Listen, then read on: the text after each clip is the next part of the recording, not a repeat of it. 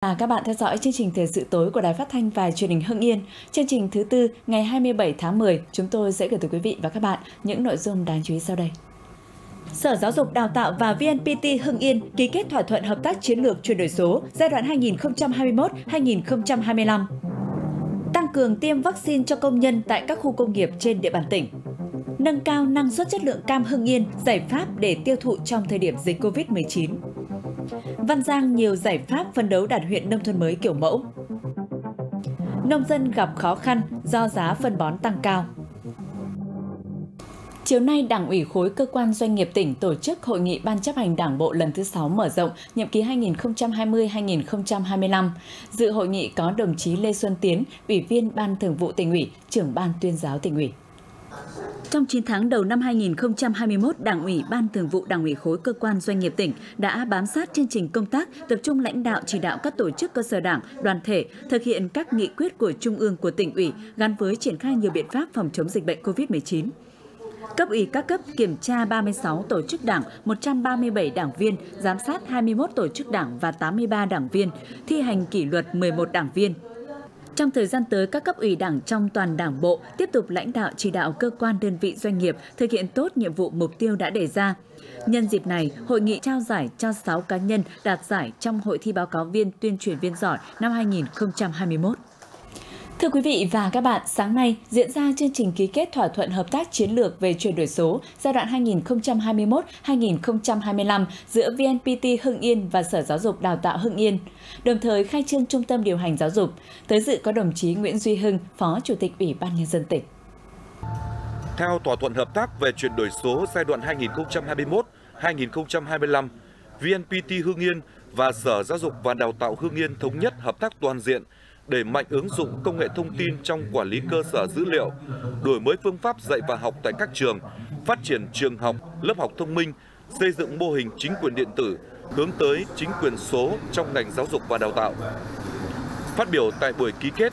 Phó Chủ tịch Ủy ban Nhân dân tỉnh Nguyễn Duy Hưng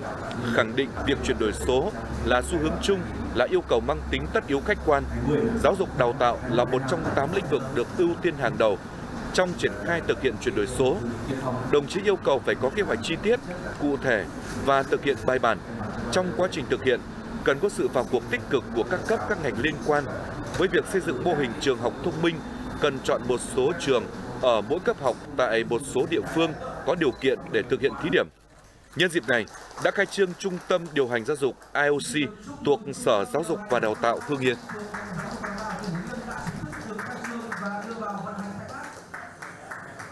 Thực hiện chỉ đạo của Ủy ban Nhân dân tỉnh về việc triển khai chiến dịch tiêm vaccine phòng COVID-19, Ban Quản lý các khu công nghiệp tỉnh phối hợp với Sở Y tế Hưng Yên đang nỗ lực triển khai tiêm vaccine phòng COVID-19 cho công nhân và người lao động trong các khu công nghiệp của tỉnh, góp phần bảo vệ vùng xanh, xây dựng lực lượng lao động xanh. Theo kế hoạch đợt tiêm này, Ban Quản lý các khu công nghiệp tỉnh Hưng Yên và Sở Y tế sẽ tiến hành tiêm cho gần 6.000 công nhân, người lao động thuộc các khu công nghiệp Thăng Long 2, khu công nghiệp Phú Đối A, khu công nghiệp dệt may Phú Đối còn lại chưa được tiêm. Để việc tiêm vaccine được thực hiện nhanh, hiệu quả và an toàn, các đơn vị đã chuẩn bị đầy đủ các trang thiết bị, nhân lực đảm bảo công tác tiêm vaccine được diễn ra thuận lợi. Địa điểm tiêm được bố trí trong khuôn viên của các công ty khu công nghiệp.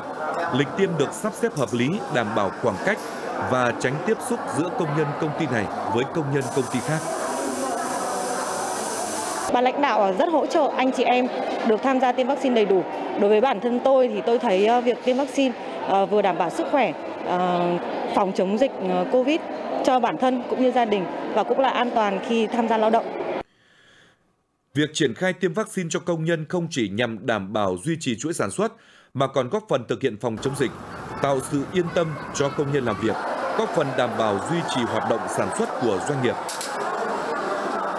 Việc tiêm vaccine đối với cả công ty chúng tôi là mang lại uh, sự bảo vệ an toàn cho công nhân viên làm việc trong nhà máy. Uh, qua đây chúng tôi vô cùng cảm ơn sự quan tâm của Ủy ban nhân dân tỉnh cũng như là uh, ban quản lý khu công nghiệp.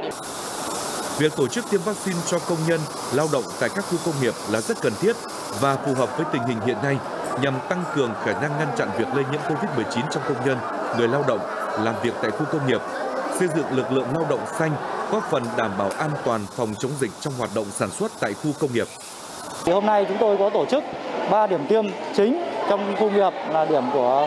uh, phố lối A, điểm của Thăng Long 2 và điểm của dệt may phố lối. Việc uh, tổ chức uh, tiêm vaccine cho người lao động trong khu công nghiệp uh, theo kế hoạch của tỉnh là rất được các doanh nghiệp ủng hộ và mong mỏi. Khi chúng tôi thông báo xuống các doanh nghiệp để triển khai tiêm thì họ rất phấn khởi và Ờ, toàn bộ công nhân của các nhà máy là thực hiện một cách nghiêm chỉnh đầy đủ về việc tiêm chủng. Được biết trước đó, Ban Quản lý các khu công nghiệp đã phối hợp với ngành y tế triển khai tiêm cho khoảng 42.000 công nhân, người lao động của các công ty trên địa bàn. 20.000 công nhân làm việc trong các khu công nghiệp đã được tiêm tại các địa phương sở tại. Đây là đợt tiêm quan trọng, góp phần xây dựng lực lượng lao động xanh trong bối cảnh dịch Covid-19 đang diễn biến phức tạp. Các doanh nghiệp phải đảm bảo mục tiêu kép vừa chống dịch, vừa phải đảm bảo duy trì sản xuất.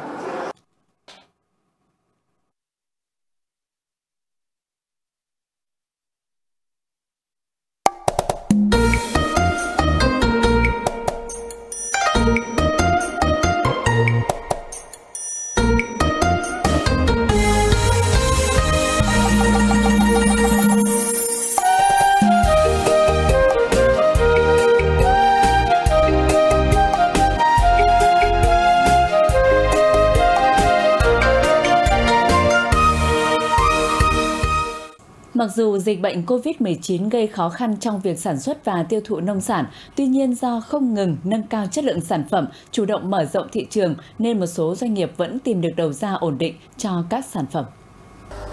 Đây là năm thứ ba liên tiếp, công ty trách nhiệm hữu hạn Hoàng Minh Châu Hưng Yên có địa chỉ tại xã Chí Tân huyện Quái Châu xuất khẩu bột nghệ đỏ sang thị trường Nhật Bản. Vốn được thị trường khó tính với nhiều tiêu chuẩn khắt khe đánh giá về chất lượng,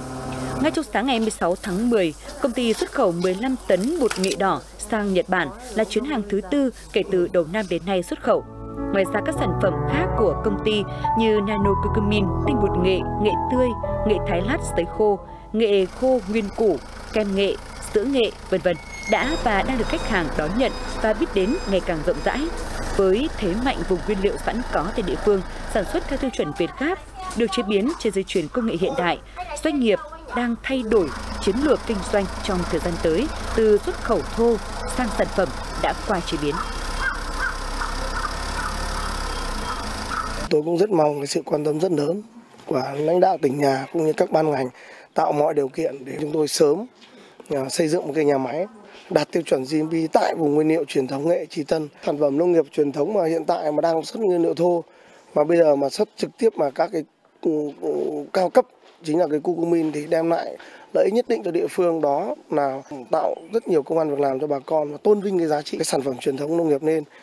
Nhằm nâng cao năng suất chất lượng giá trị sản phẩm cam Hưng Yên, năm nay Trung tâm khuyến nông tỉnh xây dựng mô hình thâm canh cam với quy mô 30 ha, đến nay đã cho năng suất và chất lượng cao.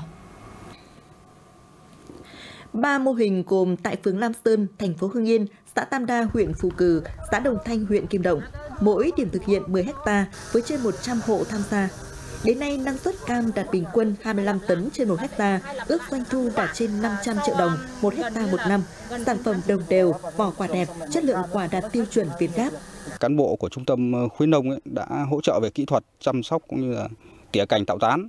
cho cây cam thì ờ, thường thường chưa có dự án thì cái ờ, cắt tỉa cành chưa quan tâm thì thành ra là quả nó sai nhưng mà nó rất là nhỏ nhưng hôm qua được cái sự hướng dẫn của cán bộ kỹ thuật trung tâm khuyến nông tỉnh thì ờ, đến năm nay, năm thứ hai tham gia dự án thì chúng tôi đã rất chú trọng vào cái việc là cắt tỉa quả và chỗ thông thoáng hạ, bớt cái độ cao của ngọn cây xuống thì từ đó là nó thông thoáng, ít sâu bệnh và số lượng quả trên cây nó đều đẹp hơn. Cùng với đó, Trung tâm khuyến nông đã hỗ trợ nông dân vật tư như đạm lân kali, phân hữu cơ vi sinh, thuốc bảo vệ thực vật, đồng thời hướng dẫn nông dân áp dụng các biện pháp kỹ thuật đồng bộ trong chăm sóc và quản lý tình hại và các biện pháp nhằm hạn chế tác hại của sâu bệnh, làm cho cây trồng đạt năng suất cao và phẩm chất nông sản tốt với cái mục đích là ứng dụng tiến bộ khoa học kỹ thuật vào trong quá trình canh tác. À, đó là việc là áp dụng quy trình thâm canh theo hướng bền vững và vệ sinh an toàn thực phẩm. Ngoài ra thì là à, áp dụng đồng bộ các biện pháp trong quá trình là chăm sóc cũng như là quản lý dịch hại. Thêm vào đó thì chúng tôi có hướng dẫn à, bà con là áp dụng quy trình thâm canh cam theo tiêu chuẩn Việt Gáp. Hiện nay trên địa bàn tỉnh Hưng Yên, có 1.000 hecta cam trồng theo quy trình Việt Gáp. Nhiều nơi đã hình thành những vùng trồng cam quy mô lớn, có quy trình sản xuất hiện đại, thâm canh theo hướng an toàn cho sản phẩm chất lượng tốt, mẫu mã đẹp. Việc thực hiện dự án xây dựng và phát triển mô hình thâm canh cam nhằm tiếp tục nâng cao năng suất, chất lượng, giá trị sản phẩm cam Hưng Yên. Trong 5 năm qua, huyện Tiên Lữ mới chỉ xử lý đất dôi dư được 10 trường hợp, có diện tích hơn 1.000 m2 với số tiền trên 3 tỷ đồng, là một trong những địa phương có tiến độ xử lý đất dôi dư thấp nhất tỉnh. 10 trường hợp trên nằm tại các xã như Đức Thắng, Nhật Tân, Thủy Lôi và thị trấn Vương. Còn lại 11 xã trong 5 năm qua chưa xử lý được trường hợp nào. Nguyên nhân được cho là các hộ không có nhu cầu giao dịch đất đai, công tác tuyên truyền vận động người dân chưa được các địa phương coi trọng. Một số hộ có nhu cầu đăng ký xử lý đất dôi dư lại không đủ điều kiện. Trước tình trạng trên, đề nghị Ủy ban nhân dân huyện cần tích cực tuyên truyền, vận động người dân nhằm để làm tốt hơn việc xử lý diện tích đất dôi dư, tăng thu ngân sách, tránh gây lãng phí tài nguyên đất. Thưa quý vị và các bạn, đến nay Văn Giang là huyện duy nhất ở tỉnh Hưng Yên có 100% số xã đạt chuẩn nông thôn mới nâng cao, 10 khu dân cư đạt nông thôn mới kiểu mẫu. Từ nay đến năm 2023, Văn Giang phấn đấu để được công nhận là huyện nông thôn mới nâng cao. Các khu dân cư nông thôn mới kiểu mẫu tập trung ở xã Mễ Sở, xã Thắng Lợi, xã Phụng Công và xã Long Hưng. Văn Giang phấn đấu từ nay đến cuối năm, 100% số xã có khu dân cư đạt chuẩn nông thôn mới kiểu mẫu Phong trào xây dựng nông thôn mới nâng cao kiểu mẫu ở Văn Giang góp phần nâng cao đời sống vật chất tinh thần của người dân, tạo diện mạo nông thôn hiện đại văn minh. Nàng tôi đã được nông thôn kiểu mẫu được huyện công nhận vừa rồi thì mọi người đều phấn khởi mà vinh dự tự hào là người dân được sung sướng. Sau khi được rồi chúng tôi vẫn duy trì cố gắng làm sao mà môi trường sạch sẽ, tất cả các xây dựng công trình là chúng tôi đều có nhiệt tình đóng góp. Tỷ lệ hài lòng của người dân với mức độ đạt chuẩn nông thôn mới ở các xã đều đạt từ 85 đến 90%. Nhân dân tích cực tham gia xây dựng nông thôn mới nâng cao, khu dân cư nông thôn mới kiểu mẫu. 6 tháng đầu năm 2021, tổng nguồn vốn đầu tư xây dựng nông thôn mới của huyện là gần 1.400 tỷ đồng. Trong đó, riêng nguồn vốn huy động từ cộng đồng dân cư đạt trên 12 tỷ đồng. Huyện chỉ đạo các xã tập trung quy hoạch xây dựng các khu dân cư mới gắn với quá trình đô thị hóa, tăng cường các hình thức xã hội hóa để thực hiện hiệu quả các tiêu chí về môi trường, giao thông, hạ tầng. Tại các xã như Mễ Sở Phụng Công, Long Hưng, Thắng Lợi, tập trung nguồn lực xây dựng hoàn thiện tiêu chí để sớm được công nhận là xã nông thôn mới kiểu mẫu. Trong năm 2021 thì chúng tôi sẽ tập trung đầu tư vào các công trình xây dựng cơ bản và hoàn thiện, nâng cao các tiêu chí xây dựng nông thôn mới. Ờ, nâng cao thì chúng tôi ờ, cũng phấn đấu là đến ờ, 2025 là chúng tôi sẽ phấn đấu là đạt nông thôn mới ờ, kiểu mẫu. Để đạt được xã nông thôn mới kiểu mẫu, hiện nay thì địa phương cũng đã xúc tiến từng bước để tạo nguồn vốn xây dựng các cái mục tiêu chung, ví dụ như điện, đường, trường trạm để làm sao đạt được cái mục tiêu đề ra của Đại hội Đảng bộ. Từ nay đến năm 2023, huyện Văn Giang phấn đấu đạt huyện nông thôn mới nâng cao, mỗi xã có từ 2 khu dân cư nông thôn mới kiểu mẫu trở lên. Huyện đang triển khai chương trình phát triển sản xuất nông nghiệp công nghệ cao bền vững, nâng cao giá trị sản xuất trên đất canh tác, đưa kinh tế nông thôn phát triển mạnh mẽ.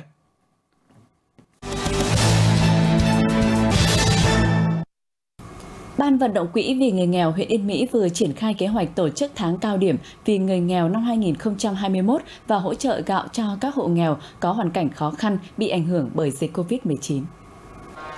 Tính từ tháng 10 năm 2020 đến tháng 10 năm 2021, Quỹ vì người nghèo huyện Yên Mỹ đã hỗ trợ xây dựng sửa chữa nhà ở cho hộ nghèo, hỗ trợ khám chữa bệnh cho các đối tượng hộ nghèo không may mắc bệnh hiểm nghèo, thăm tặng quà Tết, hỗ trợ sản xuất trên 1 tỷ đồng, phối hợp với công ty cổ phần phát triển khu công nghiệp Vigracera Yên Mỹ ủng hộ 1,6 tỷ đồng để hỗ trợ xây dựng 20 nhà ở cho hộ nghèo, hộ có công, vận động các cơ quan, đơn vị, các nhà hảo tâm ủng hộ hỗ trợ phòng chống dịch bệnh COVID-19 tổng số tiền trên 1,3 tỷ đồng. Theo kế hoạch, năm 2021, huyện phấn đấu vận động quỹ vì người nghèo trên 1,5 tỷ đồng. Đối tượng vận động là cán bộ công nhân viên chức, người lao động đang công tác làm việc tại các cơ quan hành chính sự nghiệp, các đơn vị lực lượng vũ trang, các hộ kinh doanh, dịch vụ, các doanh nghiệp. Ngay tại lễ phát động, các đại biểu doanh nghiệp nhà hảo tâm, cán bộ công chức và các ban ngành đoàn thể đã trực tiếp ủng hộ được gần 190 triệu đồng. Nhằm chung sức cùng chính phủ có thêm nguồn quỹ hỗ trợ cho người lao động và người dân gặp khó khăn do ảnh hưởng của dịch bệnh COVID-19, 100% người lao động Agribank chi nhánh tỉnh Hưng Yên tự nguyện không nhận hỗ trợ nhằm dành phần quỹ đó hỗ trợ các đối tượng khác gặp khó khăn do dịch COVID-19. Ngay khi nhận được thông báo của Bảo hiểm xã hội tại địa phương về việc triển khai chính sách hỗ trợ người lao động, người sử dụng lao động bị ảnh hưởng bởi dịch COVID-19 từ Quỹ Bảo hiểm thất nghiệp, Agribank chi nhánh tỉnh Hưng Yên đã thông báo và phổ biến nội dung chính sách tới người lao động. Sau khi lấy ý kiến rộng rãi, 100% người lao động tự nguyện không nhận hỗ trợ nhằm dành phần quỹ đó cho chính phủ hỗ trợ các đối tượng khác gặp khó khăn do dịch Covid-19. Gần 300 lao động của chi nhánh đã tự nguyện dành tố tiền trên 800 triệu đồng được hỗ trợ cho các trường hợp khó khăn hơn. Sau khi mà thực hiện tuyên truyền ấy thì 100% đoàn viên người lao động của chúng tôi là đã tự nguyện không nhận cái tiền hỗ trợ từ quỹ bảo hiểm thất nghiệp. Trong cái quy định nội bộ của chúng tôi thì đối với những cán bộ nào, đoàn viên người lao động nào mà có khó khăn thực sự do ảnh hưởng dịch Covid theo cái điều kiện của cơ quan có thẩm quyền thì cũng sẽ được Agribank hỗ trợ từ cái quỹ phúc lợi của Agribank.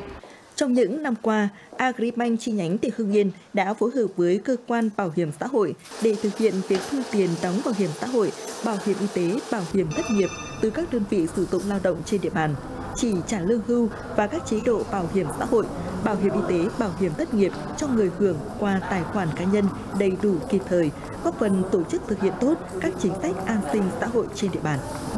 Từ đầu năm đến nay, giá các loại phân bón đồng loạt tăng cao khiến hoạt động sản xuất của người nông dân vốn đã bị ảnh hưởng vì dịch Covid-19 nay càng thêm khó khăn. Ông Bùi Xuân Sử trồng 1,5 mẫu nhãn và 4 hecta rau màu. Để chăm sóc cho cây trồng, mỗi năm gia đình sử dụng gần chục tấn phân bón các loại. Năm nay, do ảnh hưởng bởi dịch Covid-19, giá nông sản rẻ cộng với giá phân bón tăng cao khiến cho gia đình gặp nhiều khó khăn. Phân bón ấy, thì năm nay nó rất là cao. Chính vì thế mà bà con nông dân chúng tôi là cũng ờ, rất là vất vả. Bây giờ phải giảm thiểu cái phân bón hóa học xuống, bù vào những phân hữu cơ. Phân gà mình ờ, mua về để hoai mục kết hợp với cả nân nâm thao, nân đơn, ngô nghiền ra trộn vào me nhau cho ăn để mình giảm thiểu cái phân bón hóa học xuống. Từ đầu năm đến nay, gia đình bà Nguyễn Thị Hà ở xã Nhật Tân, huyện Tiên Lữ cung cấp ra thị trường hàng tấn rau củ quả các loại. Theo tính toán, trừ chi phí ngày công lao động gia đình không có lãi. Nguyên nhân là do giá nông sản rẻ, thời tiết thất thường, mưa nhiều ảnh hưởng đến phát triển của rau màu, phải trồng lại nhiều lần, cộng với giá cả vật tư nông nghiệp, nhất là phân bón tăng cao.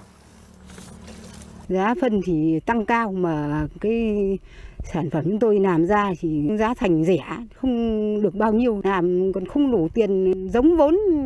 nân đạm. Theo các đại lý kinh doanh phân bón trên địa bàn tỉnh, các loại phân bón bắt đầu tăng giá từ đầu năm và tăng mạnh gần 2 tháng trở lại đây, với mức tăng trung bình 50 đến trên 70%. Đồng nghĩa chi phí sản xuất của người dân, doanh nghiệp cũng tăng theo. Giá phân bón tăng cao là do giá nguyên liệu, nhiên liệu sản xuất tăng, phụ thuộc vào nhập khẩu. Nhưng do Covid-19 diễn biến phức tạp, dẫn đến khan hiếm nguồn cung, giá xăng dầu cũng tăng nhiều đợt trong các tháng đầu năm nay. Giá tăng cao nên người dân cũng e rẻ hơn trong đầu tư sản xuất. Tất cả các mặt hàng đều tăng một gấp rưỡi hoặc một gấp đôi luôn. Như đạm thì cũng xuống có 7.000 bây giờ lên 15.000 một cân hoặc là Việt Nhật đấy từ 12.000 bây giờ lên 17 18.000 một cân.